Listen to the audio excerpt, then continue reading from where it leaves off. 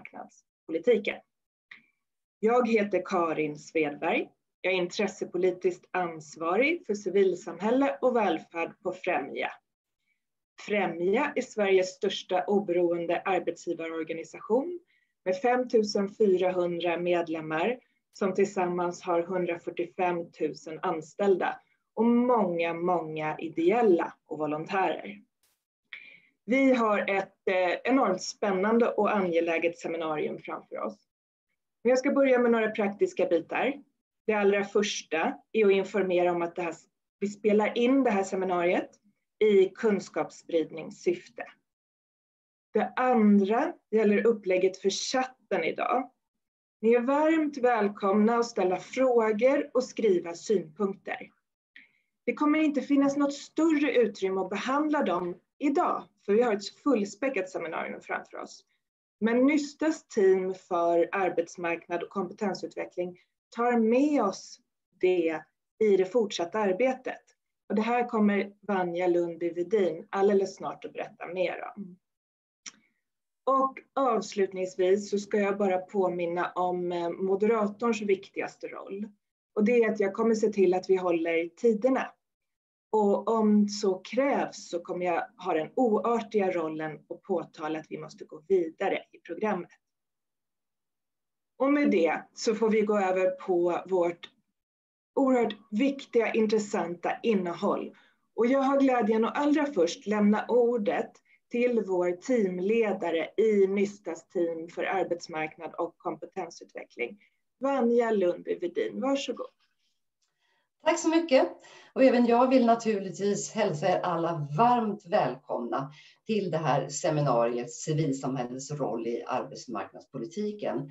Och naturligtvis ett extra välkommen till er som är medverkande. Och det är verkligen glädjande att vi har fått möjlighet att ha med oss både arbetsmarknadsminister Eva Nordmark och överdirektören på Arbetsförmedlingen Lars Löv.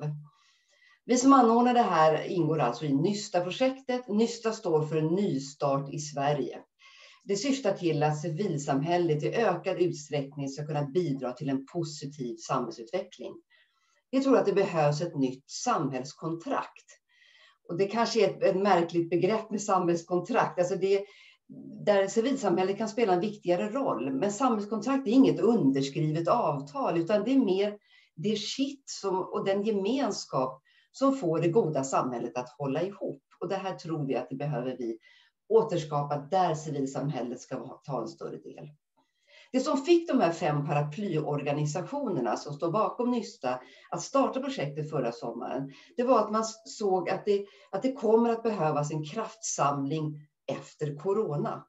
Vi såg tidigt att pandemin innebar stora påfrestningar på vårt samhälle i många avseenden. Till exempel vad gäller den demokratiska utvecklingen, välfärdens utmaningar, men också hur det såg ut på arbetsmarknaden där vi såg att allt fler stod utanför och de som redan stod långt från arbetsmarknaden stod ännu längre bort från arbetsmarknaden och nya grupper kommer ut i arbetslöshet. Civilsamhället, eller den, den idéburna sektorn som vi också säger, bidrar ju på olika sätt inom alla dessa områden. Men man skulle kunna göra så mycket mer om det skapades bättre förutsättningar där vi på jämlika villkor med den offentliga och den vinstdrivande sektorn skulle kunna verka gemensamt. Vi som ingår i, i Nystas team arbetsmarknad och kompetensutveckling, vi representerar olika delar av civilsamhället. Det är folkbildningen, det är socialt företagande, kooperationen och det är organisationer som Hela människan, eh, eh, Skyddsvärnet, Svenska kyrkan. Och vårt uppdrag är att komma med förslag som leder till fler jobb gärna, men framför allt som rustar människor för arbete och sysselsättning. Det som förenar oss i teamet är att vi ofta möter människor som står långt från arbetsmarknaden. Som av olika skäl kanske aldrig har haft ett arbete. Och vi har som utgångspunkt att vi, alltså alla vi, 10 miljoner människor i Sverige, vi tillsammans utgör en resurs och en gemenskap. Vi är alla behövda och vi har alla rätt att vara med att bidra efter förmåga. Vi utgår från ett holistiskt perspektiv, ett helhetsperspektiv på, på människan, där individen är med och formulerar lösningar.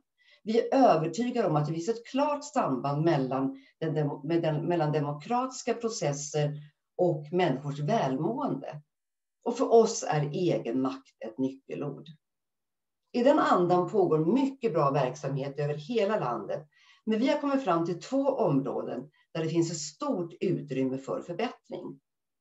Det ena handlar om samverkan, där det finns mycket att göra mellan civilsamhällets olika delar.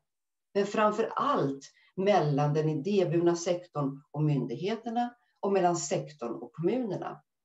Det andra området det handlar om att regelverken ofta inte är anpassade till civilsamhället.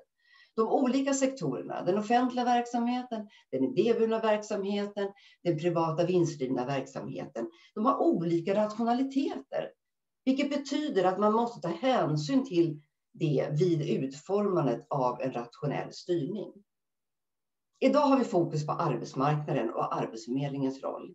Det finns säkert möjligheter till förbättringar inom ramen för de regelverk som redan finns.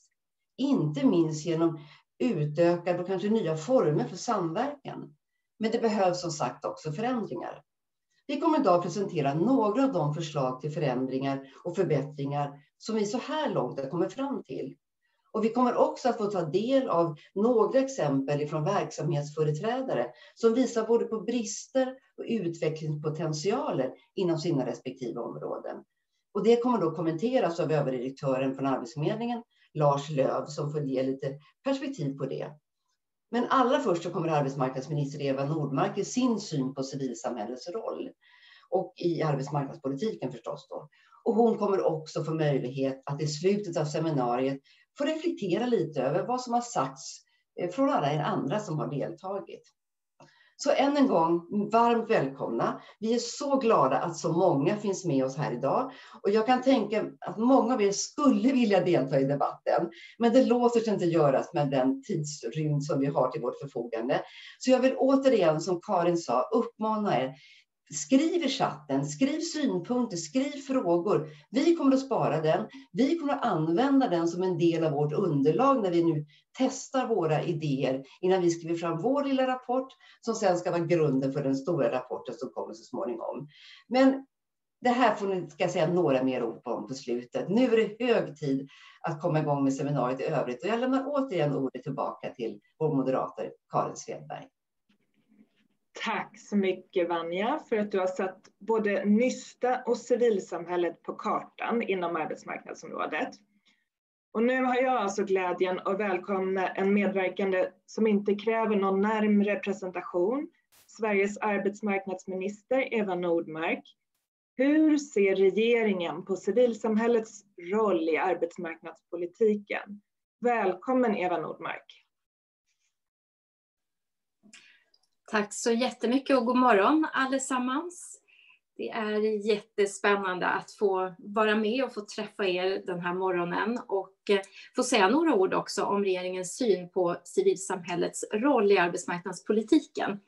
Jag kan väl bara säga det också att, att eh, under egentligen hela mitt liv så har jag arbetat med arbetsmarknadsfrågor. Det är ju ett och ett halvt år som jag har varit eh, statsråd, men egentligen ända sedan SSU-tiden när jag var ung och vi pratade om, jag satt i en arbetsmarknads och regionalpolitisk kommitté eh, som representant för SSU i Norrbotten så har arbetsmarknaden och jobben varit den viktigaste frågan för mig. Och det är den här kompassen eller den drömmen som också jag har som har följt mig i alla de olika uppdrag som jag har haft oavsett om det har varit fackligt eller politiskt eller på annat håll att drömmen måste ju handla om ett arbetsliv där vi alla får plats och behövs. Ett arbetsliv som ger möjlighet till utveckling, inte bara en bra lön att leva på och goda villkor, utan också möjlighet att kunna utvecklas, möjlighet att känna gemenskap. Det handlar om ett arbetsliv som är helt fritt från alla former av diskriminering, där vi tar tillvara varandras potential fullt ut och där man också när man går hem för dagen eller när arbetspasset är slut också kan känna en stolthet över vad man har bidragit med. Och att alla behövs på arbetsmarknaden, det är liksom en, en ledstjärna som för mig är väldigt viktig. Det handlar ju inte bara om att vi vet att genom arbete så skapar vi välstånd och välfärd, utan också att varje individ har rätt till ett arbete, en egen försörjning, att ha en lön att leva på. Därmed kommer ju också frihet för individen. Därmed kommer också jämställdhet. Eh, det är ju en av, eller jag ska säga, det är den viktigaste jämställdhetspolitiska frågan för mig, en egen försörjning. Eh, men det handlar ju också om mycket mer i arbetslivet. Det handlar ju om gemenskapen, det handlar ju om utvecklingen hos varje individ. Så eh, vi behövs allihopa. Alla goda krafter behöver ju hjälpas åt och dra åt det hållet. Att ge människor möjlighet till, till mening och frihet genom arbete. Och ehm, med, med det så tänker jag ändå, jag ska säga några ord om det det läge som, som jag ser att vi har på arbetsmarknaden och sen avsluta med att säga några ord om, om hur jag ser på er viktiga roll, både här och nu och också lite framåt. Um, om man kikar på hur, hur, hur läget ser ut just nu så vet ni allihopa att vi just nu befinner oss i den allvarligaste krisen på svensk arbetsmarknad i modern tid. I och med coronapandemin så har ju hundratusentals människor varslats. Eh, hundratusentals har också skrivit in sig på Arbetsförmedlingen. Vi har en stigande, fortsatt eh, stigande ungdomsarbetslöshet och vi kommer att se under det här året också att långtidsarbetslösheten fortsätter att öka. Och här har vi alla en viktig roll att se till att människor inte fastnar i långtidsarbetslöshet. Vi satsar ju väldigt mycket från regeringens sida på att människor inte bara ska ha en insats eller få stöd via Arbetsförmedlingen, för det är klart att det är oerhört viktigt. Men också att man får möjlighet att, att utbilda sig, att under den här tiden när vi befinner oss i det här tuffa läget, eh, fylla på med ny kunskap och, och, kompetens så att man står starkare när, när ekonomin vänder och jobben kommer åter. Vi har ju också vidtagit historiskt kraftfulla åtgärder för att rädda jobb och jag skulle säga att den viktigaste åtgärden egentligen det är eh, korttidsarbete som har eh, som idag används och har använts av hundratusentals eh, människor och många, många företag. Så det är ett sätt att, att rädda svenska jobb och svenska företag. Men vi har också stärkt eh, arbetslöshetsförsäkringen och ersättningsnivåerna, vilket också är viktigt för människor. Att man inte ska behöva bli fattig för att man blir av med sitt arbete. Jag är väldigt stolt över också att vi har kunnat meddela att vi, den här förstärkningen förlängs. Ehm, så satsningar på utbildning, satsningar på arbetsmarknadspolitik, eh, ge trygghet till människor, både att kunna rädda jobb men också att ge ekonomisk trygghet. Det är ju några av de saker som har varit väldigt viktiga för regeringen i den här ehm, pandemin. Det vi särskilt ser och som jag är orolig över, det är de här personerna som redan innan coronapandemin stod långt ifrån arbetsmarknaden eller precis började liksom vara rustade för att ta sig in. Och jag nämner, nämner ju unga människor här. Vi kan ju se att ungefär hälften av de unga som är arbetslösa, de studerar. Och de är jag inte särskilt orolig för, utan det är just de unga som varken arbetar eller studerar. Där behöver vi ju hjälpas åt allihopa givetvis för att se till att, att ge våra ungdomar en, en bra start i livet, att vi kan visa våra ungdomar att alla behövs. Det är tufft nu, men alla behövs och du är viktig och du kommer att behövas på arbetsmarknaden. Och se till att man också finner gemenskap under den här tiden. Eh, ibland blir politiken, om jag får tänka lite fritt med, så blir politiken väldigt styrd utifrån vad kan så att säga, myndigheterna göra och vad kan politiken leverera. Och jag tror att det är väldigt viktigt, framförallt i kristider, att vi försöker tänka tillsammans. Vad gör vi mer tillsammans? Och därför är jag också väldigt nyfiken och intresserad av att höra vad, vad ni ser och vad ni säger. För jag vet ju också att allt ifrån idrottsrörelsen, att vara viktig i sin fotbollsklubb eller att, att, att bidra eh, genom en aktivitet genom kyrkan eller Eh, ett studieförbund eller på annat sätt vara en del av samhället är också oerhört centralt och inte bara så att säga eh, ett arbete eller en specifik utbildning utan just att känna sig och få plats och vara en del av samhället. Eh, men det är inte bara unga, det är långtidsarbetslösa. Vi vet att också utrikesfödda eh, personer med funktionsnedsättning är grupper som har det svårt eh, och utrikesfödda hade det tufft redan innan den här pandemin. Så att vi har många utmaningar på svensk arbetsmarknad som vi jobbar hårt med. Och jag vill säga att civilsamhället och den idéburna sektorn spelar en viktig roll i arbetsmarknadspolitiken idag, Eh, kommer att göra det, behöver göra det också i framtiden. Eh, inte minst för de här personerna som har det svårare och som har längre till arbete. Ehm, den idéburna sektorn behövs också när Sverige återstartar och det här talade ju Vanja om alldeles precis. Och eh, jag håller verkligen med dig Vanja, att den idéburna sektorn har en väldigt viktig roll här. Eh, när det gäller de långtidsarbetslösa som vi ser kommer att öka så vet vi ju sedan tidigare också att idéburna aktörer har ofta bättre förutsättningar att nå de här människorna och de här grupperna än vad kanske andra aktörer har. Eh, just därför att det handlar om att ge varje individ möjlighet att starta sin resa och, och få stöd under sin resa. Eh, här spelar idéburna aktörer en unik roll som inte så att säga, politiken via våra vanliga kanaler eh, kan ersätta.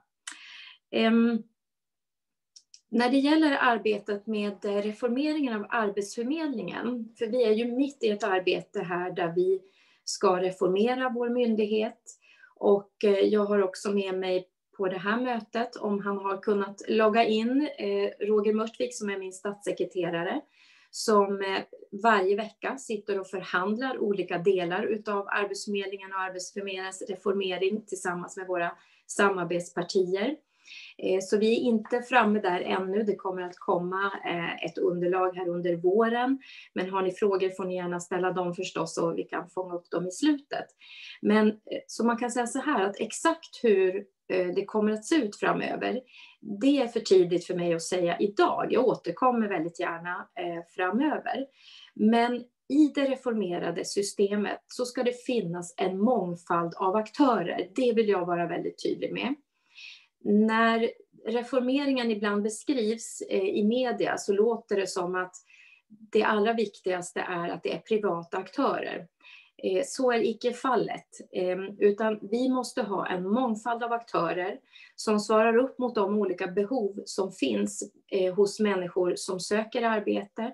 Och vi måste också ha en arbetsmarknadspolitik som ehm, kan funka i hela landet, som kan funka utifrån ett lokalt och regionalt perspektiv. Och här spelar ju också idéburen ideell sektor en väldigt viktig roll utifrån eh, alla de lokala initiativ som jag ser att, att ni också på olika sätt bidrar med, som spelar väldigt stor roll för människor.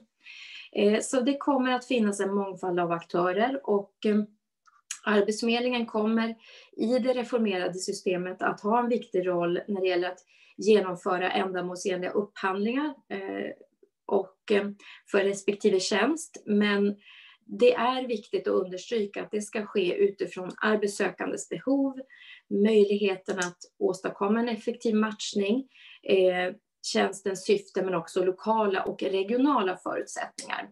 Och också samverkanslösningar kommer fortsatt att vara väldigt viktiga och centrala här. Som sagt, jag är glad att få starta min tisdag tillsammans med er. Jag ser fram emot eh, nya kunskaper och inspiration och eh, också säkerligen en hel del kloka medskick. Det vet jag därför att jag har träffat flera av er redan innan. Så jag stannar där och tack för möjligheten att vara med än en gång. Tack så väldigt mycket för den intressanta genomgången, presentationen. Och här och nu efter att ha hört regeringens syn på civilsamhällets roll i arbetsmarknadspolitiken så vänder vi oss direkt till civilsamhället självt. Vi får inblick i tre eh, civilsamhällesorganisationers vardag och verklighet och det gemensamma arbetet med, Arbetsförmedlingen. Hur fungerar samverkan idag? Hur skulle vi vilja att samverkan såg ut? Har vi några förslag på hur vi bättre kan tillvarata civilsamhällets potential i arbetsmarknadsinsatser? Vi börjar med att vända blickarna mot Luleå och välkomnar Gunnel Mörtlund som är ordförande i sömnadskollektivet i Luleå. Varsågod Gunnel. Tack så mycket. Jag hoppas att jag hörs nu. Bra. Tack för att jag har fått vara med, eh, får möjligheten att vara med och prata om eh, arbetsintegrerande sociala företag. Jag heter ju då Gunnel Mörtlund och finns i Luleå och jag har varit med och starta och driva några kooperativ och har också varit affärsutvecklare på Companion för andra som ska starta kooperativa företag. Och speciellt då har jag arbetat med arbetsintegrerande sociala företag eller ASF som vi förkortade med och som jag kommer att använda. Eh, jag kommer att ta en liten bakgrund och sedan kommer jag att lyfta två utmaningar som vi har. Sömnadskollektivet är ett skrädderi för hållbart mode som arbetar med återbruk och omsorg. Våra största produkter är eh, reparation av kläder, eh, grönsaks och fruktpåsar som vi säljer främst på Coop och så förstås arbetsträning. Vi startade i november 2017 via att vår nuvarande verksamhetsledare Anna Heike, eh, Anna Heikes företag Eh, kom eh, på en rådgivning till mig på Companion. Hon hade haft personer på arbetsträning hos sig med ett stort hantverkskunnande, men som hade också stora språkbrister. Och hon var nyfiken på det här med kooperativa företag. Eh, vi fick konsultcheckar från regionen till hennes firma för handledning i skrädderi för arbetslösa med sömnadskunskaper, oftast utrikesfödda. Och via Arbetsförmedlingen så fick Companion medel för att hålla en entreprenörskapsutbildning för den här gruppen. Och kommunen eh, bidrog med att låna ut symaskiner till oss. Ungefär ett år senare så anställde vi på sömnadskollektivet fyra, våra fyra första personer, alla på deltid, och har sedan dess stått helt på egna ben. Vi ligger helt rätt i tiden. Alla trender visar att reparation och återbruk av textilier är en efterfrågad produkt och kommer att öka. Också i och med att vårt Agenda 2030-arbete intensifieras allt mer. Vi har ju också sett att vår kundstock ökar hela tiden, främst på den privata sidan.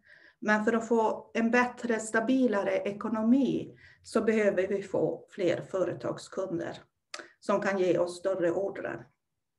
Vi, också, vi hade också alldeles för trångt i våra lokaler och vi hade inte heller tillräckligt med maskiner, skärmaskiner, symaskiner, datorer för att kunna ta större jobb som inredningssömnad till exempel. Så vi var lite grann i moment 22. Vi är ett tillverkningsföretag som har en produktionskedja. De som arbetstränar hos oss ska kunna rymmas in i den kedjan utifrån sina möjligheter.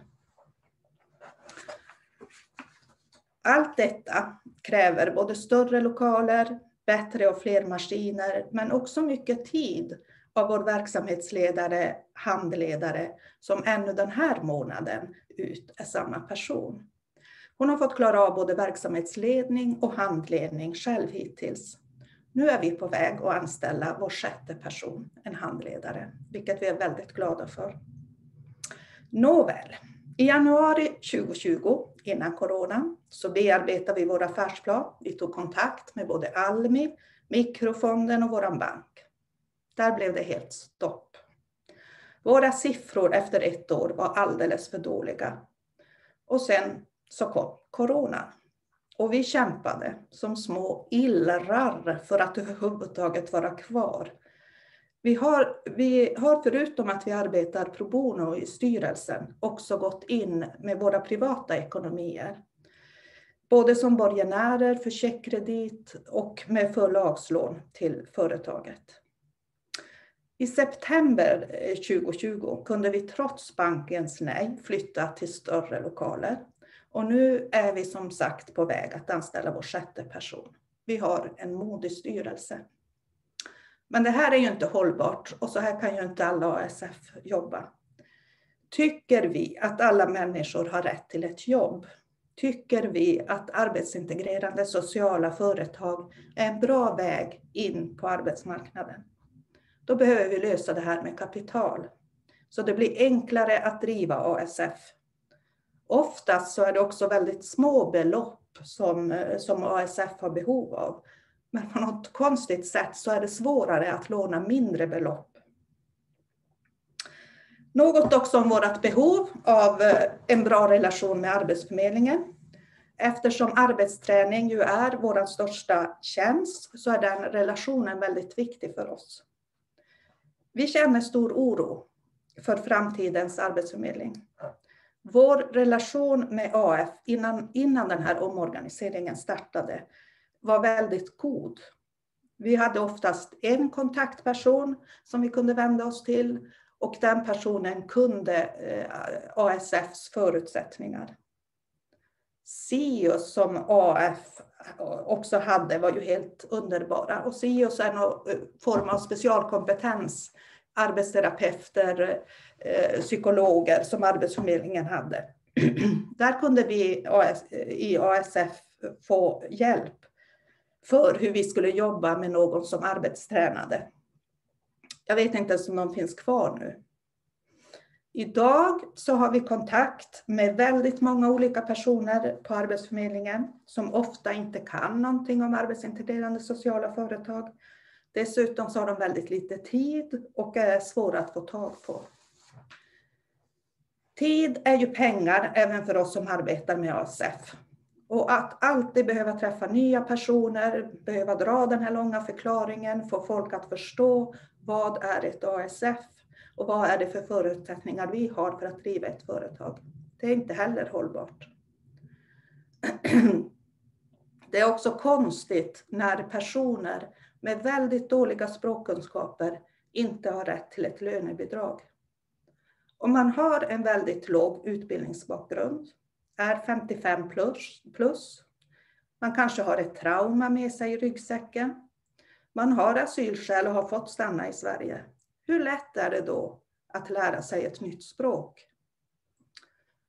Vi som ett ASF behöver dock anpassa vår arbetsplats, ett litet skrädderi för att det ska fungera på arbetsplatsen med kundmottagning i butiken.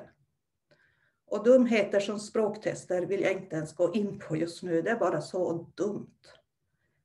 Vi är också väldigt oroliga om det i framtiden kommer att bli så att vi måste ha kontakt med en mängd olika stöd och matchningsföretag för att få personer som ska arbetsträna hos oss. Det kommer inte att fungera. Men jag vill i alla fall sluta med de möjligheter vi har att bidra till samhället. Dels genom att minska vårt enorma avfall, där tygberget är fjärde största avfallsposten. Och vi har också möjligheter med social hållbarhet genom att fler får jobb, vilket är allas ASFs mål. Tack för att jag har fått vara med idag och fått lyfta de här frågorna.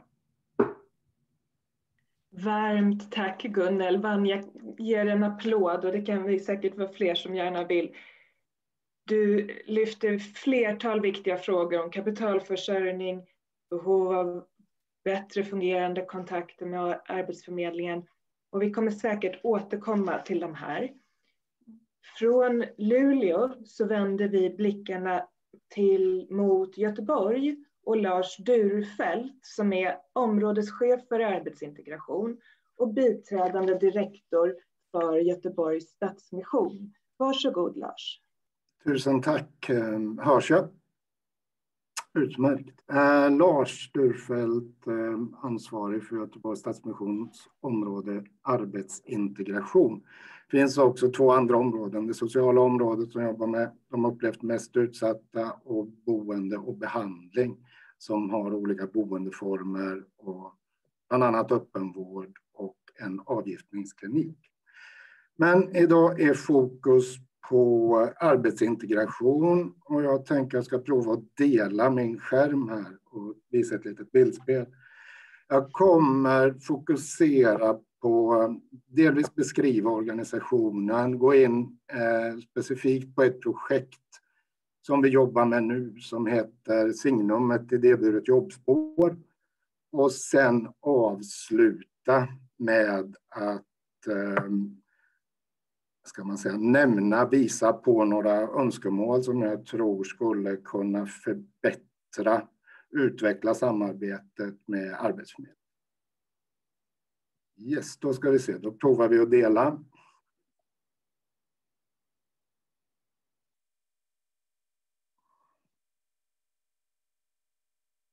Så, syns det? Utmärkt. Göteborgs Stadsmission, som sagt, område arbetsintegration. Syftet är att få fler människor i egen försörjning. Eh, vi är inte alltid med på hela den resan, men vi är ibland med i början, ibland i mitten, ibland i slutet för att göra en skillnad så att de personer som står långt ifrån kan få möjlighet att göra en förflyttning mot det som också Vanja benämnde i början och, och även Eva, vikten av att faktiskt få ett arbete och få möjlighet till att få en lön i ett kuvert som många av oss andra också får. Göteborgs Stadsmission bildad 1952. Idéburen icke vinstdrivande organisation. Det som är lite intressant är, jag går tillbaka och tittar i, i skrifterna, förarbeten innan organisationen bildades, benämner man, så finns begreppet sociala företag med redan där. Det var lite en nyhet för mig faktiskt kopplat till vår organisation när jag tittat på det. Vi vill skapa ett Göteborg där alla är inkluderade. Det finns ett par länkar där som, eh, jag vet inte om de här delas sen till de som har varit med, så kan man gå in och titta. Det är en, en, en film och det är en beskrivning lite mer av eh, vårt eh, område. Arbetsintegration. Mm. Då, vårt, nu, nu ser ni kanske inte för att jag har massa saker i vägen där, men Område arbetsintegration, en väg tillbaka till arbetslivet. Vi har ju en möjlighet eh, att eh, erbjuda en jättestor bredd av arbetstränings-, prövnings och praktikplatser hos oss. Dels inom vårt eget område, men också inom eh, organisationen som helhet. Vi har verksamheter inom kök och restaurang, butik, eh, second hand-butiker bland annat ett flertal lager och transport. Vi har en matcentral som till exempel tog emot nästan 400 ton räddade livsmedel eh, under 2020. Fastighetsskötsel, lokalvård, träteknisk industri, textilproduktion, sömnadsproduktion. Det är det som ligger inom ramen för området själv. Sen har vi också möjlighet att pröva, träna och också ha personer på praktik inom administration i övriga delar av organisationen. Äldreomsorg är ett sådant eh, område också som, där vi har arbetsträning och arbetsprövning som ju då ligger inom området boende och behandling.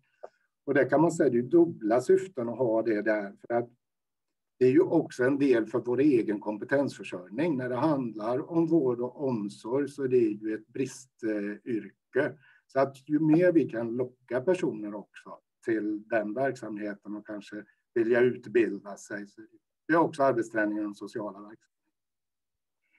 Eh, vi har plats momentant för ungefär 150 personer i prövning och träning när det inte är corona. Det har ju eh, gjort att vi har lite större utmaningar nu. Eh, och också, vi har inte haft det på länge, på tal om samarbetet med Arbetsförmedlingen. Vi ser ju att vi har en mycket större kapacitet att ta emot personer med behov av de här insatserna än om vi får möjlighet att göra. Jag ska kort berätta om det jag sa också, en eh, signum, ett idéburet jobbspår som vi kallar det.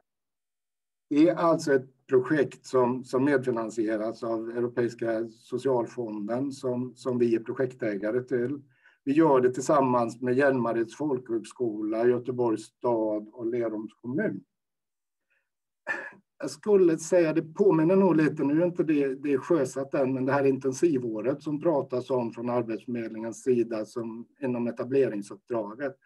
Det här är en tio månaders insats där den första tre månaders delen är i eh, Hjälmareds eh, regi. Det är en lärare med eh, SFI-kompetens som har tre månader ungefär, ge och ta, det är individuellt anpassat, ehm, i klassrumsform. Därefter så går man, det innehåller vägledning där också, ut i arbetsträning, prövning, praktik det är spännande att något har så mycket, det finns så många begrepp för en insats. Det är bara det är ju förvirrande när vi pratar prövning, träning, praktik. Eh, vi har då möjligheten inom lokalvård, butik, kök, restaurang och lager. Eh, där är man i tre månader och får fördjupning och förhoppningsvis också en ökad vad ska man säga, motivation att eh, jobba inom de här, eh, något av de här områdena. Vi kan ha personerna inom vår egen verksamhet och också hos någon eh, av våra företagsvänner. Vi har ju förmånen som, som Stadsmissionen också har ett brett kontaktnät när det handlar om eh, företagskontakter som skänker och, och, och gör, har volontärer och så vidare hos oss i övrigt. Ungefär 300-350 företag. Därefter kommer man tillbaka till eh, klassrumsformen igen i en fördjupning. skulle kunna vara en eh, kortare lokalvårdsutbildning. handlar kanske om livsmedelshantering, ett truckkort. Och sen går man ut igen i tre månader i en praktik eller prövning hos oss eller hos någon av våra företagsvänner. Och i den delen så ingår också en matchningsfas och en anställning eller med, med mål, eh, stänger av mitt larm där bara, eh, om eh, med, med målsättningen anställning antingen inom organisation eller eh, i flera fall utanför. Jättespännande. Eh, där skulle vi önska mer närvaro av Arbetsförmedlingen. Jag har gått lite över min tid, men jag ska också ta det här eh, utifrån önskemålen som, som jag skulle vilja skicka med. Jag önskar att Arbetsförmedlingen prioriterar förstärkt arbetsträning och arbetsträning som insats likväl som eh, man lägger tryck på stöd och matchning och in, introduktion till arbete och så vidare. Det här är en jätteviktig insats för personer Öka och säkra kvaliteten i arbetsträning eh, tänker jag är jätteviktigt. Det är många gånger en professionell insats med, med handledare på plats. Och där.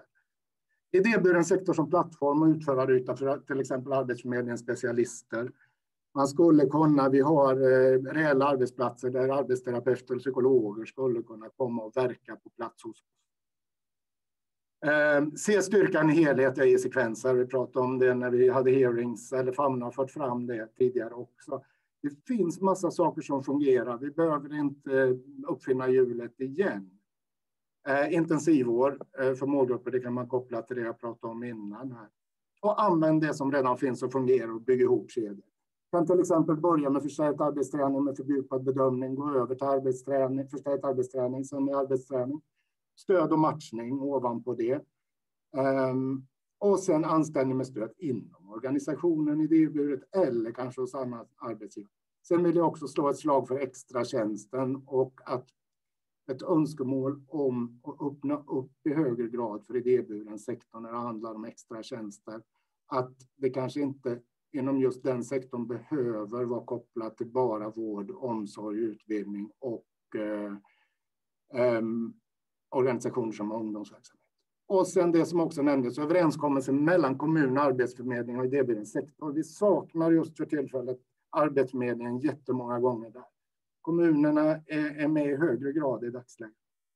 Och sen det kanske allra viktigaste, IOP, idéburen offentligt partnerskap skulle kunna vara en utmärkt form för att göra det här.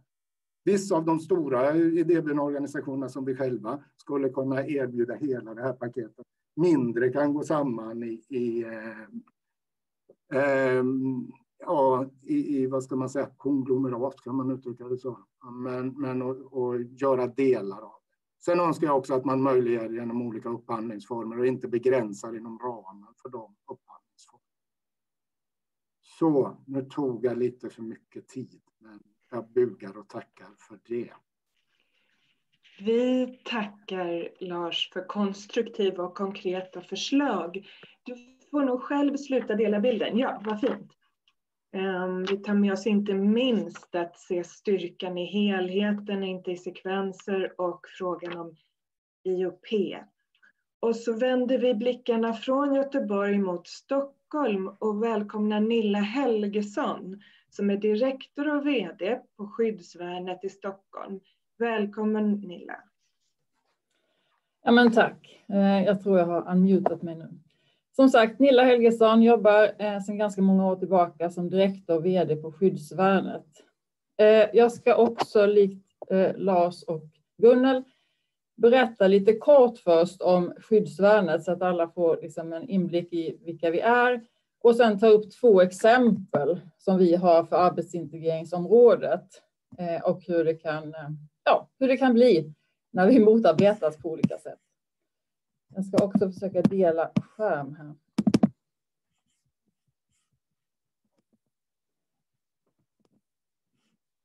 Så, jag hoppas jag ni ser den. Bra, jag fick en nickning där. Eh, Skyddsvärnet är då en ideell förening grundad 1910, så vi är alltså över 110 år. Vårt syfte är att förebygga social utslagning och en viktig del i det är ju naturligtvis sysselsättning, arbete, studier. Vi är ungefär 100 anställda. Vi har ungefär 250 klientplatser. Alltså vi kan ha så många inne varje dag. Och då gäller det inte bara kring arbetsmarknad. Jag kommer tillbaka till det. Utan vi jobbar också med social rehabilitering och liknande. Vi har avtal med 130 kommuner i landet, det vill säga nästan hälften av Sverige. Vi har avtal med kriminalvård och arbetsförmedling. Vi saknar bidrag från stat, region och kommun. Många ideella föreningar har ju på något sätt någon årlig, något årligt bidrag, men vi har ingenting sånt. Eh, när jag brukar prata om det så brukar frågan bli, hur överlever ni då? Jo, vi överlever genom att sälja våra tjänster och produkter. Så på det sättet så är vi på en vanlig marknad och konkurrerar med vilket företag som helst, fast vi är en ideell förening. För skillnaden är som sagt det sista. Vi återinvesterar all vinst i våra verksamheter. Vi har ju inga ägare. Hjulet här kommer jag inte att gå igenom, men det visar lite av skyddsvärnets all verksamhet. Vi har alltså olika former av boende och behandlingsformer som eh, familjehemsvård, jourhem, skyddade boenden, avhopparverksamhet, stödboenden, halvvägshus och kriminalvården, förebyggande arbete som trygghetsvärdar eh, ute och jobbar med barn och ungdomar. Men där pilarna går, det är det som handlar om arbetsintegrering hos oss, våra sociala företag. Blixtjobb är en helt unik verksamhet. Det finns ingenting liknande i Sverige. Och den här byggdes upp inom Stockholms Stadsmission och vi tog över den från dem för snart två år sedan. Det är helt enkelt så att de som står absolut längst ifrån arbetsmarknaden, det är alltså hemlösa. Vi har några stycken som verkligen bor i skogen och vi har några som bor på härbergen och stödboenden. Och vi har också aktiva missbrukare. De kommer till oss, får lönearbete omgående. De får alltså ett helt vanligt timavtal av oss.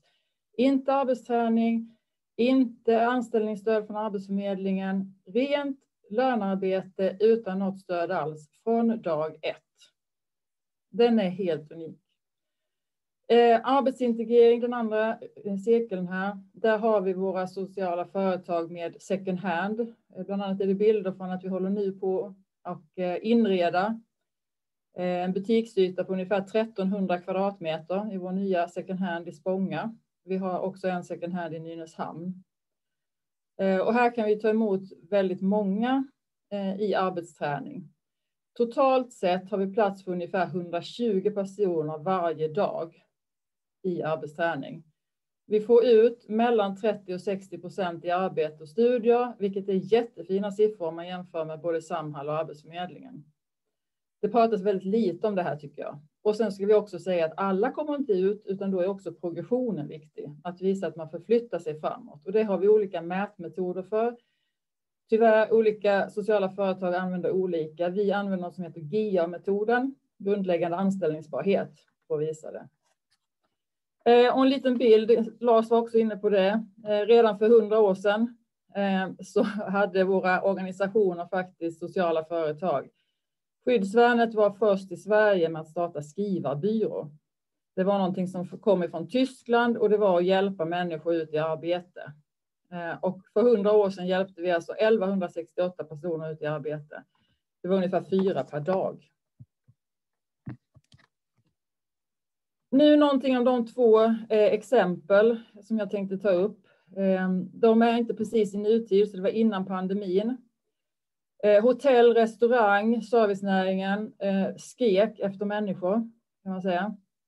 Vi hade ett avtal med Stockholms stad under fyra år eh, där vi tog fram eh, en helt egen utbildning som heter köksbiträdesutbildning på 16 veckor. Det var åtta veckor teori, åtta veckor praktik och vi matchade ut mängder i arbete. Målgruppen var de som var i försörjningsstöd och även några från SFI. Det var lite blandat. Stockholms stads egna siffror visar att vi fick ut 78 procent till egen försörjning. Alla de här hade alltså varit i försörjningsstöd innan. Vi fick också uppdrag att göra en del ja, unika speciallösningar. Inför en sommar så ville de ha ut en massa ungdomar till eh, glasstånd, kaféer och liknande, så vi gjorde en baristautbildning på fyra veckor. Vi gjorde en specialutbildning på bara livsmedelshygien, även om den ingick i vår stora utbildning. Vi fick också ett uppdrag kombinerat från faktiskt staden och Arbetsförmedlingen om att göra något specialinriktat för just en grupp romer. Eh, och de fick sedan så kallade Stockholmsjobb inom Stockholms stad. Eh, vi tog fram och jobbade med Nordiskt valideringsforum tillsammans i det här så att vi fick validerad utbildning på den här köksbiträdesutbildningen efter ett tag. Det var inte första året. Eh, och där man utgår från de här SIQF, jag kan faktiskt inte hela förkortningen, men det handlar ju om vilka nivåer du lägger utbildningen på. Och då skulle jag säga också att under det här, när vi gjorde det här, hade så här fina siffror, så blev vi hårt motarbetade av bland annat Visita. Visita tyckte att vi fick absolut inte prata om att vi validerade någonting. Det var alldeles för låg nivå. Eh, det som gällde var det regeringen hade sagt, det vill säga snabbspåren. Det var bara kock som gällde, inte köksbiträde. Och vi sa att några av dem som vi har kommer säkert kunna gå vidare till det här. Men händer och fötter behövdes just då. Man skrek i branschen efter arbete och som sagt, det visar någonstans när vi gav 78 procent till egenförsörjning i branschen. Eh, vi hade många och långa och hårda eh, diskussioner och samtal med just Visita som sa att nej, det är regeringens snabbspår som gäller. Inom det här eh, området så är det bara kock som gäller. Allt annat, ni får inte kalla det validering, ni kan kalla introduktion, information, vad som helst. Vi fick helst inte heller kalla det ens utbildning, men absolut inte validering. Den typen av liksom motarbetande och att det var bara regeringen som vi kallade höga snabbspår som gällde. För det var ju till socionom, slaktare, kock och så vidare.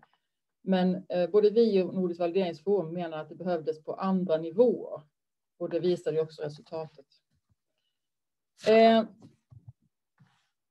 ja, lite bilder om hur vi tog emot matsvinn. Eh, det är från den romska gruppen. Vi fick faktiskt till och med pris för årets samhällsförbättrare på grund av de här utbildningarna och ändå eh, Eh, motarbetades vi på det här sättet. Den andra exemplet som jag vill ta upp handlar om också, när vi nu hade tagit fram den här utbildningen och sen när ehm, det här avtalet var slut, ville vi ju använda oss av den här köksbiträdesutbildningen som vi hade, att fler skulle få ta del av den. Så vi sa det ehm, att alla som går arbetstränar, där vi hade då ett kök, de får den här. Ni får den helt gratis. Bara ni sätter på arbetsträning eller förstärkt arbetsträning så ingår den här. Ni behöver inte betala någonting extra för den, utan det ingår för de som är intresserade av det. Vi gjorde ett väldigt bra samarbete med Samordningsförbundet. Eh, de var oerhört hjälpsamma. De hjälpte till och med till att liksom sprida det här, skriva annonser och så vidare. Men vad händer när vi i princip skulle trycka på trycka, få ut allt det? Då ringer Arbetsförmedlingen och är fruktansvärt upprörda över den vänstra bilden nere, där det står validerad utbildning. Vi fick absolut inte använda utbildning. Vi var inte upphandlade för just deras utbildning inom Arbetsförmedlingen. Så att vi gav eh, de som arbetstränade en gratis utbildning. Och som sagt, vi hade samordningsförbundet med oss där Arbetsförmedlingen ändå ingår. Det spelar ingen roll. Så vi fick alltså skriva om, trycka om enligt den högra bilden där det bara står validering, ingen utbildning. Vi fick skriva om all utbildning till arbetsträning eller möjligtvis introduktion, information och så vidare. Ehm, detta gjorde ju också att det var inte jättebra samarbete mellan myndigheterna i samordningsförbundet vid den här tiden. det kom nästan inga till den här. Fast man hade informerat, tryckt upp annonser, man gav det här gratis. Så det, jag skulle säga att det blev en stor flopp. Och allting av en fruktansvärd motarbetning. Jag stannar faktiskt där. Tack. Tack så mycket Nilla. Det är ju lockande att vilja fråga dig om möjligheterna framåt, men av tidsskäl så får vi istället gå framåt i programmet. Men nu har vi fått inblickar i civilsamhällets verklighet och nu är det en glädje att vi har med oss Arbetsförmedlingens överdirektör Lars Löv. Jag vill välkomna Lars och dela dina tankar och reflektioner och berätta hur Arbetsförmedlingen ser på de problem som vi har fått beskrivna. Varsågod. Tack så jättemycket Karin. Eh, och tack så jättemycket för möjligheten att komma hit också och vara med. Ehm, Eh, en stor möjlighet tycker jag att få, att få möjlighet att lyssna. Eh, sen så kanske jag inte kommer att kommentera allting i, i detalj. Eh, alltså, jag har väldigt svårt att kommentera det sista som Nilla säger till exempel om Eh, om det här väldigt specifika, den här väldigt specifika situationen. Men jag ska säga att skälet till att jag är här idag är att, att Eh, som ny överdirektör på Arbetsförmedlingen så började jag jobba med att eh, ta en del kontakter. Eh, och en av de kontakterna var med civilsamhället och jag fick höra talas om vad Vanja höll på med för någonting. Så att jag sökte upp Vanja och vi började prata och då slumpade det sig så att, att det blev precis när, när ni hade planerat det här seminariet. Så att, det passade ju väldigt bra. Arbetsmarknadsministern inledde med att berätta om, om situationen på arbetsmarknaden. Eh, och jag tänker väl inte utveckla den någon, någon, någonting mer, mer än att, att, bara bekräfta det som, som Eva säger. Eh, det är en väldigt, eh, en väldigt speciell och eh, svår situation. Och alla behövs för att jobba med att att angripa den här utmaningen som vi har. Eh, men vi är på väg in i en massa nya förutsättningar. Eh, arbetsmarknadsministern nämnde också eh, reformeringen och Arbetsförmedlingen har också varit i en situation där vi har behövt styra om verksamheten ganska ordentligt de senaste åren. Så det är klart att det varit ganska utmanande för oss, och är det fortfarande. Men det är ju roligt att det finns väldigt höga förväntningar och vi på oss och vi har väldigt höga förväntningar på oss själva. Mm, vi vet att, att vi gör väldigt mycket bra och eh, kan bidra med väldigt mycket tillsammans med andra. Eh, om, ni, eh, om det är några av er som har tittat och läst i, i vårt analysuppdrag, det vi skickade till regeringen som en, en grund för reformeringen, det är nu ganska länge sedan, det är ett och ett halvt år sedan vi skickade in analysuppdraget. Så redan där så diskuterar vi en del om förutsättningarna för, för, för framtiden och relationen till civilsamhället. Eh, och det är viktigt att vi fortsätter den diskussionen. Eh, det eh, kommer att bli en del förändringar i förutsättningarna som, som vi behöver lösa tillsammans. Och det var också därför jag tog kontakt med Vanja, så att jag hoppas verkligen att vi kan fortsätta den diskussionen. Men redan nu så har vi en hel del samarbeten som vi kan utgå ifrån. Vi har samarbeten i, Eh, inom etableringen med, med det som kallas för andra insatser. Eh, vi jobbar med några olika saker tillsammans med folkhögskolor som vi hoppas att vi kan fortsätta med och utveckla mm, det, det samarbete som vi har genom Folkbildningsrådet.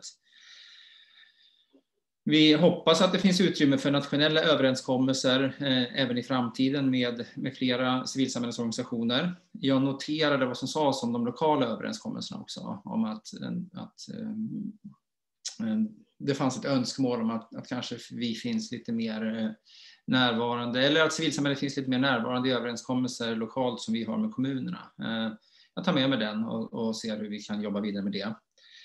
Ehm, och sen så får vi se vad som händer med socialfonden i, i nästa programperiod också. I den här programperioden så har eh, Arbetsförmedlingen eh, på olika sätt varit inblandad i 52 projekt som civilsamhället har drivit tio av dem i samverkan och, och resten som medfinansiärer. Eh, så vi får se hur, hur nästa programperiod utvecklar sig också. Jag, säga att jag kom ju eh, från jobbet som generaldirektör på ESF-rådet, så att det här har ju varit en av de frågor som jag har jobbat mycket med de senaste fem åren, att, att jobba med just frågor om, om eh, civilsamhällets roll i arbetsmarknadspolitiken. Inte bara civilsamhällets förutsättningar att ta del av socialfondsmedel utan, utan den stora övergripande frågan. Jag har haft mycket dialog med, med flera av er som är med här också. Inte minst Gordon som vi ska få höra lite sen då. Eh, jätteintressant att höra också, det var väl, det var väl Gunnel som pratade om kapital och kapitalbildning. Det var en av de sakerna som jag funderade mycket på under socialfondstiden också. I vilken mån man skulle kunna använda socialfonden och kanske de befintliga strukturerna med Almi eh, som, som ett, eh, ett redskap för att bygga nya vägar för, för, eh, för kapitalförsörjning och till civilsamhället. Jag vet inte, det är inte så många andra som har köpt den idén ännu, men vi får väl se. Jag har inte gett upp den tanken, men det får, andra får väl ta den frågan vidare.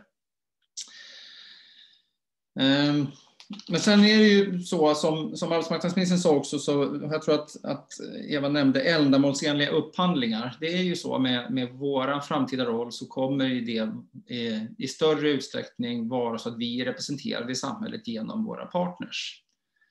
Ehm, och ehm, vi kommer behöva köpa eh, bra partners som, eh, som kan göra väldigt bra saker. Och där behöver vi hitta eh, bra vägar framåt. Ehm, vi vi kan fundera på många saker. Just nu så är ju en av de saker som, som vi verkligen hoppas kommer att lösa sig, det är de arbetsintegrerade övningsplatserna som eh, har, har överklagats när vi har försökt sätta upp det på nationell nivå. Eh, den högsta instansen i rättsväsendet har beviljat prövningstillstånd eh, sent i höstas så att vi hoppas att, att det kan komma en dom från Högsta förvaltningsdomstolen så fort som möjligt och förhoppningsvis då eh, som gör, en dom som ger oss möjlighet att, att utveckla de här övningsplatserna. Men sen så finns det många andra saker som vi kan fortsätta prata om. Vi har ju bjudit in Eh, civilsamhället att vara med i vårt leverantörsforum. Eh, vi förstår att, att eh, civilsamhället inte har samma förutsättningar som andra leverantörer, men, men vi tycker att det är viktigt att ni finns med i, i de här sammanhangen. Och ger er syn på, på era förutsättningar. Men också kanske en möjlighet att knyta kontakter och se vad det finns för andra möjligheter. I andra länder så jobbar man ibland med, med underleverantörslösningar som skulle kunna vara en väg framåt. Eh, så det finns säkert massor med möjligheter att, eh, eh, att diskutera för att se vad vi kan göra framöver. Och sen så kommer vi inte kunna lösa allt, men, men vi hoppas att vi kan bidra. Och det viktigaste för mig var ju att sätta igång samtalet tillsammans med Vanja och andra så att vi kan, kan fortsätta och försöka hitta lösningar tillsammans. Jag stannar där. Ja, det är vi ju jätteglada över, det samtalet som du initierar och det gläder oss också att du inte har givit upp frågan om tanken på bättre kapitalbildning, för det, den är vi många som behöver arbeta för. Ehm, du nämnde flertal samarbeten att utgå ifrån här. Inom dagens regelverk, kan du se, behövs det något nytt? Men det är en del av det som vi funderar över också, eh, vad, vad, vad, som kan, vad som kan behövas. Eh, och sen så kommer ju regelverket att förändras en del eh, under det närmaste året, eller de närmaste åren. Så vi får väl se till att, att titta på vilka möjligheter och, och möjliga, hinder, möjliga hinder som dyker upp i det. Men, men det är klart att så utgångspunkten i både konkurrenslagstiftningen, alltså offentlig upphandling och statsstödsreglerna eh, skapar väldigt stora begränsningar. Ehm, jag har slagits med statsstödsreglerna i fyra och ett halvt år på ESF-rådet eh, och ehm, de har ju absolut sitt värde, men, men de skapar en del, eh, en del utmaningar, särskilt när hela arbetsmarknadspolitiken, eller inte hela, när arbetsmarknadspolitiken i större utsträckning kommer att Eh, att bygga på en fungerande marknad som vi har ett, upp, ett uppdrag att, att skapa förutsättningar för. Då. Eh, så kommer de att påverka ännu mer. Eh, och vi behöver titta på statsstödsreglerna. Nu har ju, är det ju sagt att det ska komma en, en revidering av statsstödsreglerna, om jag förstod rätt under min tid på ESF-rådet. Så får vi se vad, det, vad de innebär då och så titta vad det finns för möjligheter där. Det är möjligt att Sverige kan försöka hitta andra lösningar och, och titta lite mer på vad andra länder har gjort i större utsträckning. Vi får väl se vad vi kan hitta på. Tack så mycket Lars Löv. Jag tror att vi kommer få höra lite mer om statsstödsregler och konkurrenslagstiftning just nu. För härifrån så går vi vidare till de förslag som Nystas team för arbetsmarknad och kompetensutveckling har arbetat fram så här långt. Och det är Gordon Hahn som kommer presentera våra förslag. Gordon är ordförande för Companion Sverige och ingår i Nystas arbetsmarknadsteam. Varsågod Gordon. Tack så mycket. Eh, ja, jag heter Gordon Hahn och är förtroendevald ordförande för Companion Sverige som jobbar med kooperativ utveckling och utveckling av andra typer av verksamheter som är eh, inom ramen för den sociala ekonomin. Men jag är också styrelseledamot i eh, Främja Eh, och jag har väl i över 15 års tid jobbat med eh, på olika sätt, bland annat eh, i kampen om en jämlik arbetsmarknad och framförallt då kopplat till civilsamhället, i den idéburna sektorn, den sociala ekonomin och, och, och den, det, det inspelet som den typen av verksamheter kan och bör spela i en, i en svensk arbetsmarknad. Eh, men idag har jag som sagt varit till uppgift att presentera eh, i princip hur långt vi har kommit nu. Det är ju halvvägs. Som Vanja sa så började vi det här arbetet i somras och vi kommer hålla på till eh, kommande sommar, ett år ungefär. Och tanken är ju att här idag föra en, en, en första dialog och diskussion. Och som Vanja sa så ingår ju flera aktörer ifrån egentligen den här väldigt breda och komplexa eh, sektorn i Nysta och vi har också referensgrupper kopplat så att vi tror och tycker oss ändå kunna samla en ganska stor bild av eh, den sociala ekonomin, civilsamhällets eh, förutsättningar. Så jag tänker inleda lite snabbt med eh, en inledning om var vi utgår ifrån för att sen egentligen göra tre nedstamp och det är i upphandling, det är i näringslivsfrågor och det är i eh, arbetsmarknadspolitiska systemet som håller på att formeras och väldigt stor vikt kommer ju att vara vid reformeringen av Arbetsförmedlingen för att det är, det är den verkligheten som vi även i arbetsgruppen i Nysta just nu eh, befinner oss i. Eh, men inledningen är ju att vi, i och med att vi nu eh, formar den här ganska komplexa och heterogena strukturen som vi, vi representerar i Nysta, allt från välgörenhet och empati till, till egenmaktsprocesser och entreprenörskap, så blir det ju även så att eh, vi i arbetsgruppen för arbetsmarknad och kompetensförsörjning i Nysta även vi behöver liksom tangera andra områden och det, det märker vi att både arbetsmarknadsminister och, och, och, Lars Löv också gör när vi pratar arbetsmarknad, att det blir inte så, så, så tydligt kopplat just till den arbetsmarknadspolitiska insatsen, utan man tangerar också upphandling, man tangerar näringslivsrelaterade eh, frågor.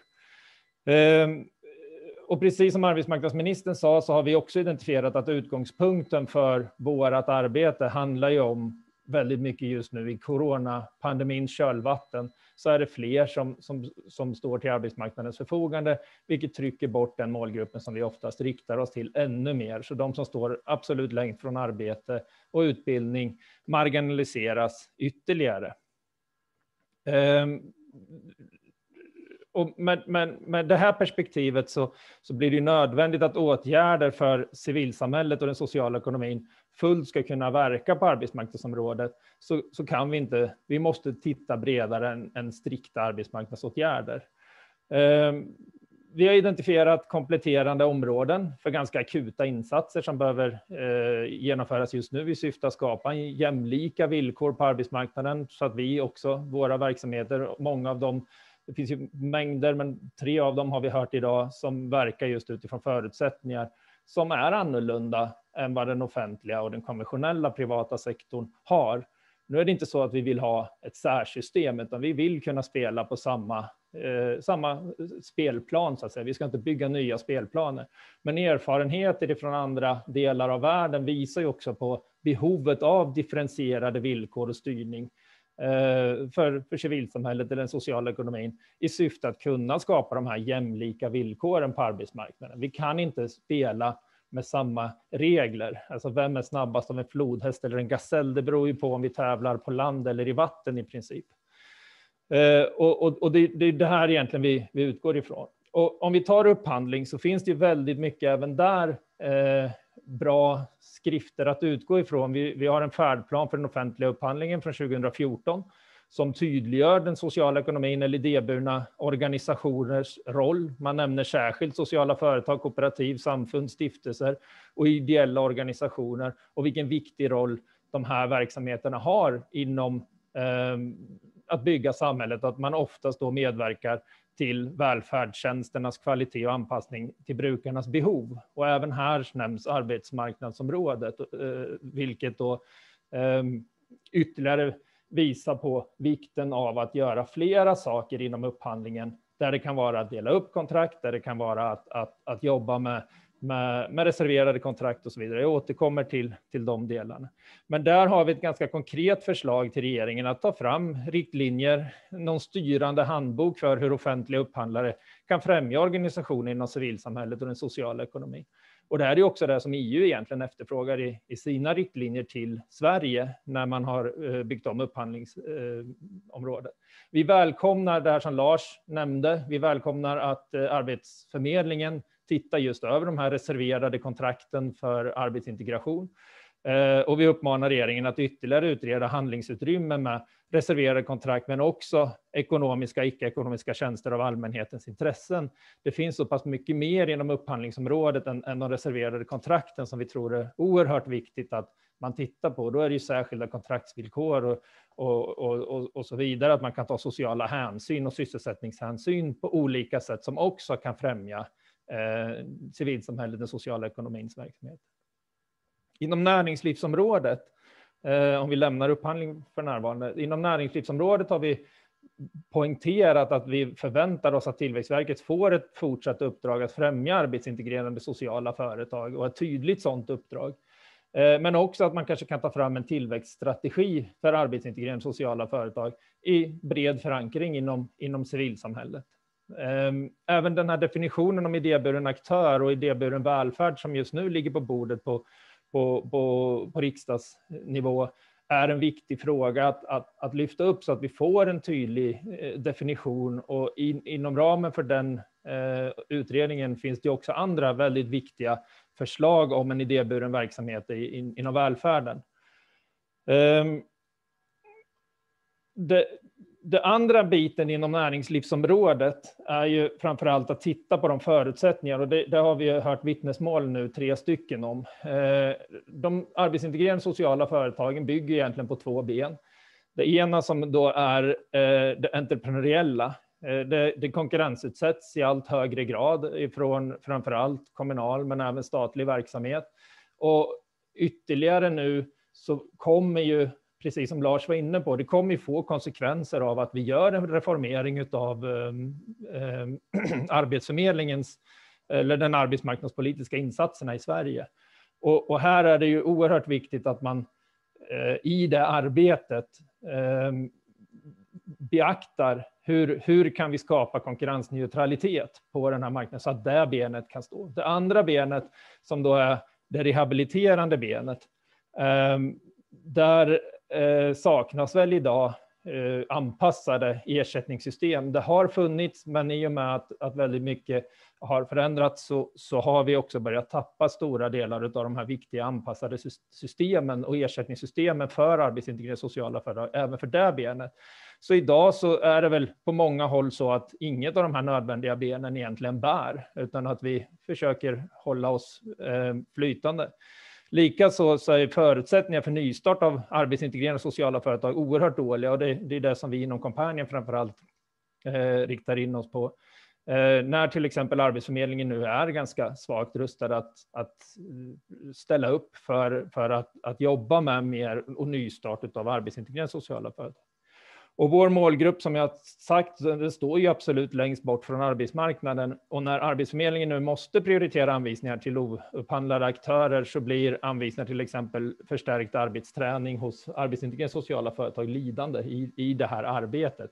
Det har blivit en Ja, man påbörjade ju reformeringen lite snabbt och sen har den ju börjat återställas. Men, men det, det behövs att, att tittas över de systemen. Så det där var näringslivsfrågorna. Avslutningsvis då, så är det det här LOV-systemet eller den framtida arbetsmarknadspolitiken, för den är ju egentligen så mycket bredare än bara reformeringen av Arbetsförmedlingen, för här kommer det ju skapas ett parallellt system eller ett kompletterande system. Jag tänker bland annat på den utredningen som kom nu om eh, kommuner som leverantörer till Arbetsförmedlingen, att man ska undvika de här gråa fläckarna och då börjar man titta där. Och i, i samtliga av de här Eh, systemen så, så, tycker väl vi att konsekvensanalysen för civilsamhället och den sociala ekonomin, den, den, finns inte när man börjar titta över olika sätt att skissa upp en framtida arbetsmarknadspolitisk insats. Men vi välkomnar självklart den här dialogen och det är inte en dialog som vi för bara idag, utan vi, har ju, vi för en kontinuerlig dialog både med, med Arbetsmarknadsdepartementet och med Arbetsförmedlingen och den är konstruktiv och den är väldigt bra. Men vi blir lite oroade i arbetsgruppen när vi diskuterar det här, den skissen vi ser och då är det ju inte bara det vi hör i media utan också de sådana här utredningar som jag nämnde nu om kommunen till exempel. Och, och, vi efterfrågar regionalt upphandlade system som arbetsmarknadsministern säger att eh, kan vara en, en, möjlig väg så att det inte blir ett nationellt system där leverantörerna ska kunna erbjuda allt, för då har vi i princip 12 leverantörer som kan ställa upp eh, även på den eh, svaret. Och likadant så, så är vi lite oroade över diskussionen omkring utfallskontrakt, där utfallskontrakten nu pratar egentligen om jobb, eh, att man ska få finansiering för jobb. Och precis som Nilla var inne på så är det oerhört viktigt, inte minst kopplat till den målgruppen som vi vänder oss emot, att kunna mäta progression eller eh, Ehm, förflyttning, att man förflyttar sig närmare arbetsmarknaden. Och där finns det många olika verktyg och en del i arbetet vi gör i arbetsgruppen är att försöka formera de här olika styrande verktygen som vi jobbar med inom, inom civilsamhället och den sociala ekonomin. Eh, men framför allt så efterfrågar vi, som jag sa, en full inkludering och analys av idéburen LOV egentligen. Alltså hur kan våran sektor... Vi har valt nu att försöka klustra oss, att försöka ena sektorn så att vi kan erbjuda eh, egentligen hela den här eh, bilden ifrån rusta, mobilisera till matcha, utbilda, kompetensförsörja. Vi, vi är många organisationer och vi, vi, vi, har olika bevekelsegrunder, men tillsammans kan vi klustra oss och utgöra ett, ett, ett, ett intressant komplement eller inkludering i, i den här reformeringen av Arbetsförmedlingen och i det LOV-systemet som, som antagligen kommer byggas upp. Hela kedjan från mobilisera, rekrytera, rusta, bilda och skapa förutsättningar för arbete. Men då behöver också de här klusterupphandlingarna utredas och se kan man göra det på, på ett sådant sätt. Um, så i princip vad vi efterfrågar är ju att, att, att, vi behöver en utredning som tar reda på vad det är som behövs för att civilsamhället och den sociala ekonomin kan ingå eller komplettera den här skissen av ett framtida arbetsmarknadssystem i Sverige där, där, där reformeringen av Arbetsförmedlingen är i centrum. Eh, nyligen erhöll eh, tre organisationer med ett stort partnerskap i varje. Eh, organisation, var Scoopy, Companion och Fryshuset ISF-finansiering just för att titta på de här frågorna om hur civilsamhället, den sociala ekonomin kan utgöra ett, ett komplement i en framtida arbetsmarknadspolitik eller en inkludering, en, en, en naturlig del av en framtida arbetsmarknad i Sverige. Ehm, och, och, vi efterfrågar där också då självklart ett, en dialog med både Arbetsförmedlingen men också regeringen in i de här tre utvecklingsprojekten som, som kommer pågå nu under, under två år. Och vi, vi, vi kommer också docka ihop det här med NYST-arbetet och vi dockar ihop det med, med, med, med så många aktörer och organisationer som, som möjligt är intresserade.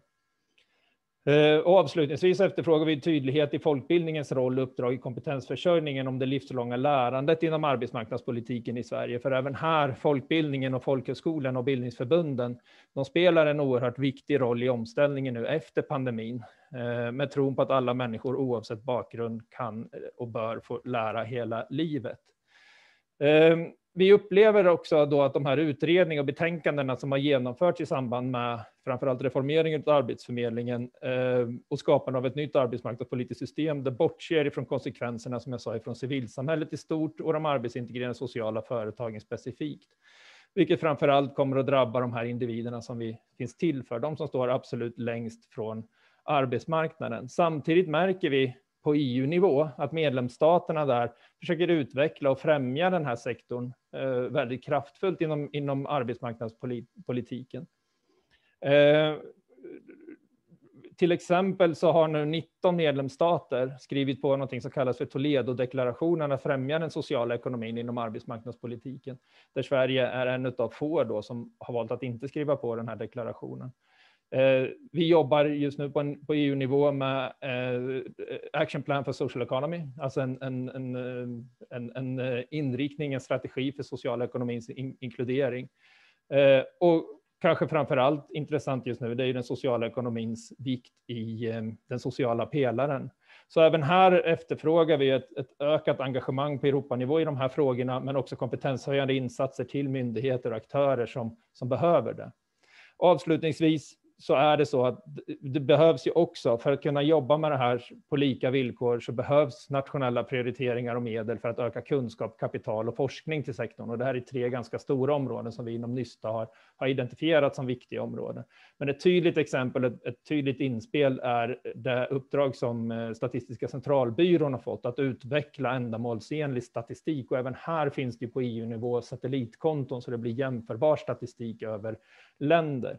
Men som sagt, vi, vi har skickat konkreta förslag till arbetsmarknadsministern utifrån det här jag har pratat om. Eh, men vi ser också det här webbinariet som en start eller fortsättning på ett nära och, och, och gott samarbete. Vi för en bra dialog med, med, med samtliga nivåer eh, och vi hoppas att eh, vi kommer att inkluderas i analyser och konstruktionen, skrivandet av det kommande LOV-systemet och den framtida näringslivspolitiken samt inom upphandlingsområdet i Sverige så att vi får jämlika villkor att kunna verka ifrån eh, den sociala ekonomin, civilsamhället och den idéburna sektorn. Tack. Tack, tack så mycket Gordon. Nu vänder vi blickarna mot arbetsmarknadsdepartementet igen. Och vi förväntar oss naturligtvis inte synpunkter på alla de här förslagen, men det ska bli väldigt intressant att höra arbetsmarknadsministerns reflektioner på de olika delar som vi har fått höra under seminariet. Välkommen tillbaka Eva Nordmark. Tack så mycket. Jag tror det är någon som har på ljudet. Det kött lite här. Ska vi se om någon kan avmuta. Bra, nej men tack så jättemycket för eh, alla de här inspelen och jag såg också att många har pratat i chatten samtidigt, även om jag inte fångade allt. Men, men också det var värdefullt vill jag säga. Och eh, om jag ger några kommentarer till det som har sagts och, eh, lite framåt också, så om jag börjar med Gunnel så vill jag säga att det var otroligt intressant att lyssna till dig och eh, en reflektion är ju också kring den viktiga verksamheten kring återbruk som jag ser växer nu. Jag eh, besökte också digitalt Stockholms Stadsmission i förra veckan och blev väldigt inspirerad av att eh, höra också hur hur mycket som återbruket har vuxit och de beskrev bland annat det här med att när många, vi är ju hundratusentals människor nu som arbetar hemifrån så verkar det vara så att många börjar rensa sina garderober och kommer med kläder som kan sys om och tas om hand och både liksom ett hållbarhetsperspektiv utifrån klimat och miljö men också utifrån att människor kan, kan få sysselsättning. Så att eh, bara det säger intressant. Um, Kapitalförsörjningen har ju Lars Löv nämnt och eh, jag är verkligen inte expert på, på det området men eh, bejakar också att Lars kommenterade det och, har, eh, och tar, tar också med mig den, den frågan givetvis. Jag vill säga också när det gäller kontakten med Arbetsförmedlingen som Gunnel lyfter fram här som en viktig fråga så vill jag också säga att jag ser det. Och eh, Lars Lööf var ju inne på den tuffa eh, situation som Arbetsförmedlingen har befunnit sig i under de senaste åren egentligen. Ehm, och där vi tillsammans försöker att skapa ännu bättre förutsättningar för myndigheten i detta nu, men också att bygga inför framtiden. Och ehm, en sak som vi lyfter apropå att det är så viktigt att ni kan få kontakt med Arbetsförmedlingen ehm, så, så lyfter vi i regleringsbrevet till Arbetsförmedlingen i år, alltså för 2021. Man kan säga bara, bara påminna er om, jag tror att ni är ganska med, uppsjungna på, på vad vi har gjort, men under förra året så gav vi ett uppdrag till Arbetsförmedlingen att säkerställa den lokala närvaron och likvärdig service i hela landet. Och det är ett arbete som Arbetsförmedlingen har jobbat på med. Eh, men inför det här året så tar vi kan man säga nästa steg med att också beskriva vad som måste funka på orten. Inte bara att vi ska ha en lokal närvaro utan också vad som måste funka på orten. Så det regeringen då beslutade om här i december var eh, bland annat då så säger vi i regleringsbrevet när det gäller den lokala närvaron att eh, det handlar om att skapa goda möjligheter att komma i kontakt med myndigheten. Det är helt centralt.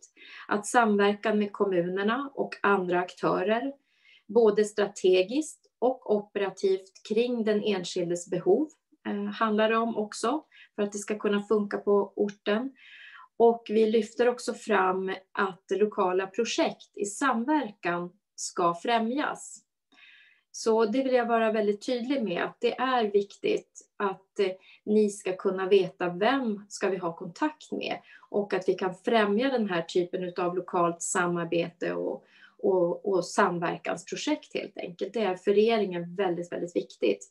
Men det är också så att det har varit en tuff tid när 4 500 anställda varslades 2019 till följd av dem, det debaclet som vi hade och så har vi försökt att tillsammans styra upp det där. Och jag tycker att vi är på rätt väg, men vi har mer att göra. Så att eh, ville bara bekräfta det utifrån vad Gunnel lyfter fram med kontakten, för det är klart att den är väldigt viktig, att det måste liksom funka smidigt. Eh, Lars, det var ju jätteintressant att få ta del av ert eh, idéburna jobbspår och när den här coronapandemin är över så längtar jag ju efter att få komma ut i och, och göra olika typer av verksamhetsbesök och det här lät ju väldigt spännande och också väldigt positivt att höra dig beskriva att ni har större kapacitet att ta emot människor om ni får rätt förutsättningar för detta. Så det tar jag verkligen med mig. Och en sak som du också lyfter fram som jag bara kort vill kommentera, det är ju att eh, du lyfter vikten av att bygga kedjor.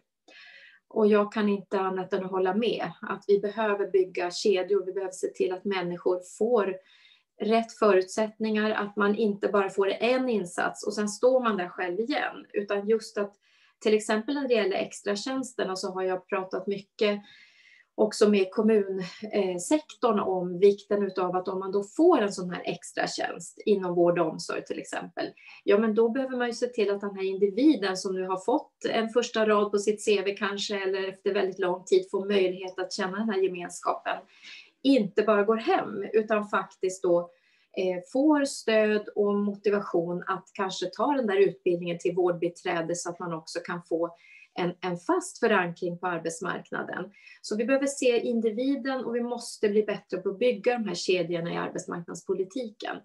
Ehm, så att eh, det inspirerar också när du beskriver vad, vad du ser där Lars, vill jag säga. Så, så tack för det. Ehm, sen var det ju väldigt lärorikt eh, att få ta del av skyddsvärnets verksamhet. Det är nog den verksamhet som jag Eh, Eh, kunde minst om inför eh, det här webbinariet. Och eh, Nilla beskriver den här progressionen, hur viktig den är. Och jag vill säga att ni gör ju fantastiska resultat. Det var väldigt intressant att höra just kring köksbiträdesutbildningen till exempel. Och eh, jag tror att där har ni också en viktig roll. Jag tror att även Gordon pratade ju om det här med provisionen. Jag tror att ni har en väldigt viktig roll i att lyfta det här perspektivet, för ni ska veta hur många debatter och diskussioner som, som jag är, är med i politiskt, där, där man kan säga att till exempel extratjänsterna brukar eh, sägas att de är helt värdelösa. Och hur kan liksom, regeringen satsa på extratjänster när de är så värdelösa och inte leder till jobb? Och det gör de ju, alltså de har ju ganska låg eh, övergång kan man säga direkt till ett fast arbete. Men det här är ju väldigt viktiga insatser för människor att kunna skapa sig en erfarenhet, att kanske ha det som bas för att sen kunna kliva in i en utbildning eller ett arbete. Så jag bejakar verkligen det ni beskriver kring, kring progressionen och vi behöver Eh, lyfta det oftare och mer i arbetsmarknadspolitiken, hur viktigt det är, inte minst för de som står långt ifrån arbete. Sen ska vi ha en effektiv arbetsmarknadspolitik, självklart. Men vi måste också se att människor har helt olika förutsättningar. Ehm, ja, jag tycker att det var så bra allt det Lars sa kring vikten av att arbeta tillsammans. Jag kan inte nog understryka det. Eh, och eh, som ni vet så har ju, när Lars kom till som överdirektör till Arbetsförmedlingen så eh, känner vi oss otroligt trygga med det från regeringens sida med tanke på hans långa och gedigna erfarenhet, inte bara från ESF utan också från Samhall och andra verksamheter. Så att i det här läget som är lite osäkert med att vi, mitt, vi är mitt inne i en reformeringsprocess så behöver vi också alla hjälpas åt så att vi drar åt, åt ett gemensamt håll och att vi har den här viktiga dialogen. Eh, Gordon beskrev ju det att vi har en, en nära dialog och jag vill gärna eh, fortsätta den. Eh, for, han, han lyfter ju både folkbildningens roll, inte bara civilsamhällets utan också folkbildningens viktiga roll. Och något som jag också vill ta fasta på, jag kan säga för jag kommenterar inte alla de här goda förslagen, men det är ju en rad olika viktiga förslag som vi har med oss på arbetsmarknadsdepartementet och som finns med i vårt arbete. Och eh, en sak som jag också vill lyfta fram, det är ju när Gordon eh, tar upp frågan om eh, det europeiska perspektivet. Där skulle jag gärna se en dialog, till exempel inför det sociala toppmötet som kommer att vara nu under det portugisiska ordförandeskapet i maj. Om det är så att det finns någonting i, i den delen där vi också kan, kan lyfta frågor gemensamt på ett eller annat sätt. Men det kan vi återkomma till. Eh, men det var väldigt intressant att ta del av alla de goda förslagen. Eh, jag vill bara säga också avslutningsvis att det är viktigt att Arbetsförmedlingen även efter reformeringen på olika sätt kan ta tillvara det, det viktiga mervärde som idéburna organisationer och också folkbildningen eh, kan bidra med. Och att vi fortsätter den här viktiga dialogen. Och jag vill också passa på avslutningsvis att tacka er allihopa för era viktiga insatser och också ert avgörande ledarskap i en väldigt tuff tid. Tack till var och en av er för alla de viktiga insatser som ni gör och det ledarskap som ni visar. Det spelar roll, väldigt stor roll för vårt samhälle. Tack Karin, tack allihopa. Tack så mycket Eva Nordmark. Jag passar ändå på att ställa en kort fråga om det går för sig. En del av förslagen här som har kommit upp berör inte enbart arbetsmarknadsdepartementet i ärlighetens namn och vi vet att departementsöverskridande arbete kan vara svårt. Hur ser du på möjligheten att driva på regeringens arbete för civilsamhällets roll i välfärden brett? Jag tänker att förutsättningarna för det är ändå goda. Vi har ju hela tiden ett departementsövergripande och gemensamt arbete i många frågor. Jag kan väl säga att i det, det konkreta arbete som vi jobbar med här och nu, när det gäller till exempel, behöver vi göra mer insatser för unga, för långtidsarbetslösa. Det här är ett arbete som pågår varje dag och det är det som jag ligger vaken för om nätterna. Och det är klart att där är vi också, vi jobbar ju väldigt mycket med andra departement när det gäller till exempel frågan om ungas möjligheter på arbetsmarknaden så jobbar jag ju nära eh, Amanda Lind i kulturdepartementet som har ungdomsfrågorna. Så när vi jobbar med den målgruppen, då jobbar vi ju med kulturdepartementet, med utbildningsdepartementet, till viss del med näring och så. Så att vi har ju våra, eh, vi har ju våra strukturer och, och våra rutiner för det. Så att jag eh, ser inte att det ska vara något speciellt problem för er. Eh, och när det gäller påverkansarbete och hur olika frågor behöver finnas i olika departement så, så för vi gärna en dialog om det också givetvis. Det ser vi fram emot. Och nu ska jag få lämna över avslutningsvis till Vanja Lundby Vedin. Ja, då ska jag säga på ungefär en minut säga bara tack, tack, tack. Det har varit helt fantastiskt att lyssna på er alla och stort tack till alla er som har medverkat. Och jag måste säga ett särskilt tack Eva för en sak du sa där du sa så här, inför det sociala toppmötet i var Portugal, så kanske vi kan ha en dialog. Och då blev jag nästan så här tårögd. För någonting jag har sagt till mina vänner här i, i vårt team, det är att jag vet under min tid som LO-ordförande hur vi satt runt bordet med statsministern eller med berörda ministrar inför varje socialt toppmöte. De, alltså arbetsmarknadens parter, men det kan, fanns också med så här företagarna och lite, lite andra fanns med, men inga företrädare för civilsamhället. Så det är precis det där vi vill. Vi vill bli en, en part att räkna med i samhällsbygget. Så jag har inte mycket tid att säga mycket mer än så, men stort tack. Det är precis det vi vill. Och vill ni veta mer om Nysta, gå in på nysta.nu. Där kommer det ligga information om Vidares webbinarier vi har och våra rapporter och allt vi vill göra. Och tack ska ni ha. Tack. Nu går jag återigen till Karin tror jag. Hej då! Ja, det, utöver det du har tackat alla medverkande så också för den fina aktiviteten i chatten och för er tid och uppmärksamhet. Och vi ser fram emot att arbeta vidare tillsammans. Tack för idag! Hej då!